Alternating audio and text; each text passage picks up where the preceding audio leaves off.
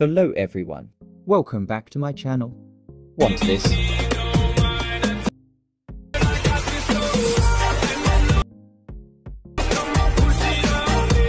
Let us start. To do this trend, you need CapCut application. If you have CapCut, click on the link given below in the description. After clicking the link, you will be directed to this page. Now click on Use Template in CapCut. Now click on Use Template in CapCut and add your video. After adding your video, click on Preview. Now check your video and then click on Export, and then export without watermark.